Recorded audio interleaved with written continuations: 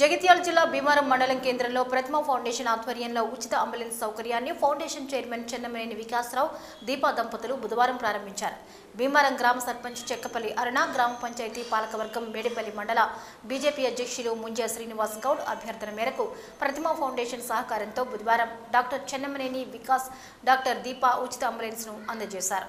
ఈ సందర్భంగా ఆయన మాట్లాడుతూ గ్రామస్తుల కోరికతో అంబులెన్స్ను మీ ముంగిటికి తెచ్చుకున్నారని గ్రామ పరిపాలనకు ఇది నిదర్శనమని ఒక్క చిటికేస్తే అంబులెన్స్ మీ ముందు వాలిపోతుందని అన్నారు.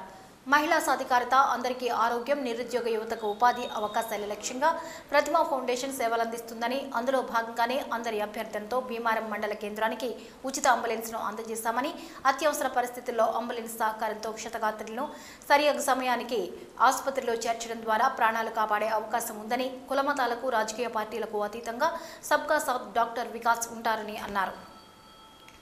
ప్రభుత్వ యంత్రాంగం రైస్ మిల్లర్లు రైతులను ఓవైపు తప్ప తాలు పేరుతో ధాన్యం కొనుగోలులో మోసం చేస్తుంటే బ్యాంకులు వడ్డీల పేరుతో రైతుల నడ్డి విరుస్తున్నాయని బ్యాంకులు బడాబాబులకు రాజకీయ నాయకులకు అధిక రుణాలు ఇచ్చి పేదల ఇళ్ళను దోచుకుంటున్నారని అన్నారు అకాల వర్షాల వల్ల నష్టపోయిన రైతులందరికీ నష్టపరిహారం చెల్లించి రైతులందరికీ తక్షణమే రుణమాఫీ అమలు చేయాలని ఆయన ప్రభుత్వాన్ని డిమాండ్ చేశారు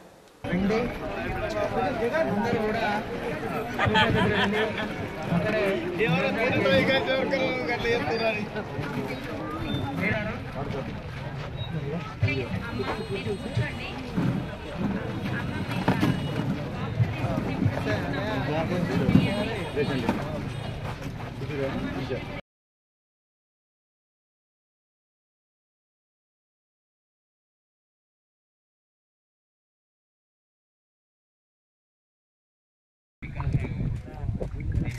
ध्रुवन देहरा आ जाओ नौ ध्रुवन जय बस्पति ध्रुवन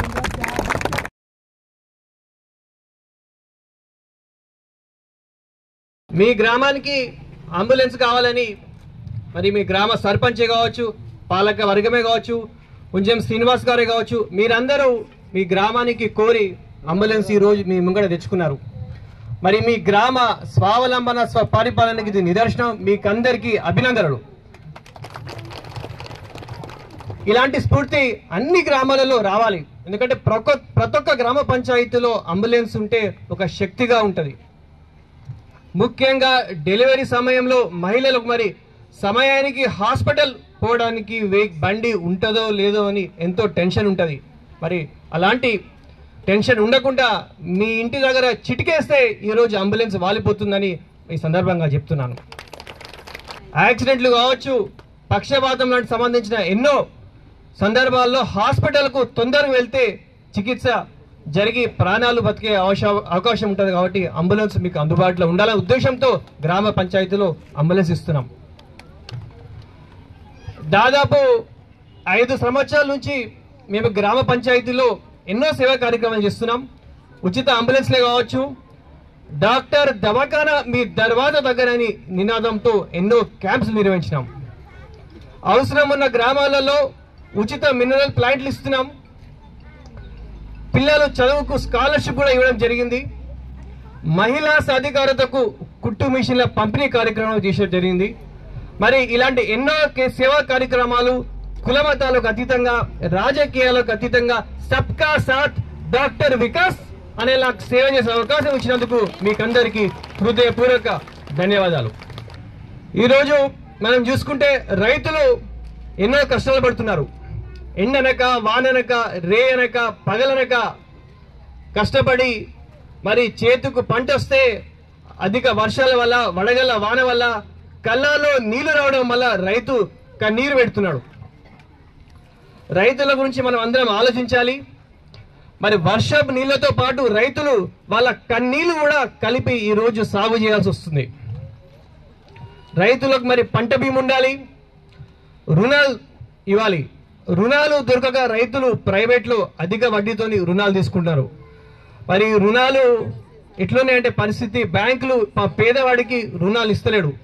ఎట్లుందంటే పరిస్థితి ఒక ధనికుడు గుడిలో దేవుని దర్శనం చేసుకొని బయటకు వస్తున్నారన్నమాట ఆ గుడి బయట సాధారణంగా బిచ్చగాళ్ళు ఉంటారు కదమ్మా. ఆ రోజు ఇద్దరు బిచ్చగాళ్ళు ఉండేయట. ఈ పెద్ద మనిషి మొదటి బిచ్చగాడి దగ్గర పోతాడు అనమాట ఆయన మొదటి బిచ్చగాడు మంచిగా సూటు బూట్ వేసుకొని పెద్ద మనిషిలో ఉన్నాడు అనమాట ఆయన దగ్గర పోయి అడిగితే బిచ్చగారిని అడిగితే నాయన నువ్వు డబ్బులు బాగా ఖర్చు పెడతావు అంటే ఖర్చు పెడతా సార్ అన్నాడు. దేనిపైన ఖర్చు పెడతావు అంటే సార్ నేను పొద్దున్నాక కష్టపడి రాత్రి తాగుతా సార్ అంటాడు. నాయన మరి పొద్దున్నాక నువ్వు ఏం కష్టపడతావు అంటే సార్ నేను పొద్దున్నాక పత్తాలు ఆడతా సార్ అంటాడు. ఆయనకి వంద రూపాయలు ఇస్తాడు. పక్కన బాబు ఇంకో బిచ్చగాడు ఉంటాడు. పాపం బిచ్చగాలు ఎట్లుంటాడు సాధారణంగా పాపం చిన్నిపోయిన బట్టలతో పాపం దయనీయంగా ఉన్నాడు. పెద్ద మనిషి ఆయన నడతాడు నాయన నువ్వు పైసలు బాగా ఖర్చు పెడతావు అంటే లేదు సార్ నేను ఖర్చు పెట్టా సార్ అంటాడు. నీకు తాగే అలవాటు ఉందా అంటే లేదు సార్ చాలా మంచి ఉంది సార్ నాకు అట్లాంటి అలవాటు లేదంటాడు. పత్తాలు ఆడతావంటే లేదు సార్ నేను ఎప్పుడైనా గుడి దగ్గర దేవుని గురించే స్మరిస్తుంటా అట్లాంటి మంచిగా ఉంది సార్ నాకు అలవాటు లేదంటాడు వానికి ఒక్క రూపాయి ఇస్తాడు అన్నమాట ఇచ్చిపోతుంటాడు. మరి రెండో పిచ్చివాడు సార్ ధనుకుని పిలిచి సార్ ఆ దొంగగానికి లంగానికి వంద రూపాయలు నాకు ఒక్క ఇచ్చిపోతున్నాం ఇచ్చిపోతున్నావు ఏంటంటే ఆ ధనికుడు అంటాడు నాయన అతనికి ఖర్చులు ఎక్కువ ఉన్నాయి కాబట్టి నేను ఎక్కువ ఇచ్చిపోతున్నా అని చెప్తాడు అనమాట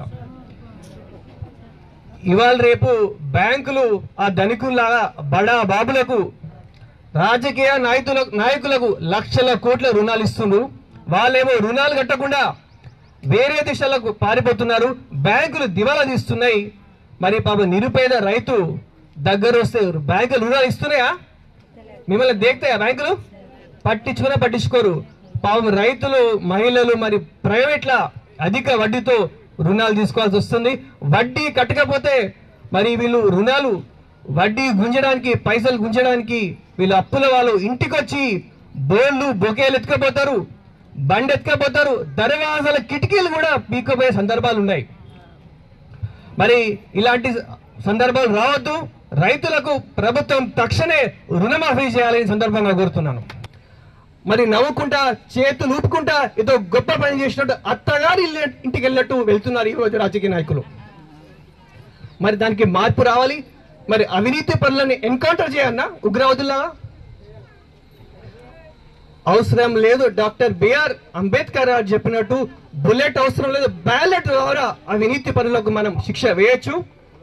ఎలక్షన్ల టైంలో సామాన్యులు అవినీతి పనులని నీ ఓటే వాళ్ళకు కట్టి పోటుగా మారాలని సందర్భంగా చెప్తున్నాను. మరి నవ తెలంగాణ నిర్మాణానికి అసమానత లేని తెలంగాణ అవినీతి లేని తెలంగాణ కోసం మన అందరం శివాజీ వారసులుగా అంబేద్కర్ వాదులుగా మన అందరం భీమవరం నుంచే ఈరోజు కొత్త నాంది పలకాలని సందర్భంగా చెప్తున్నాను.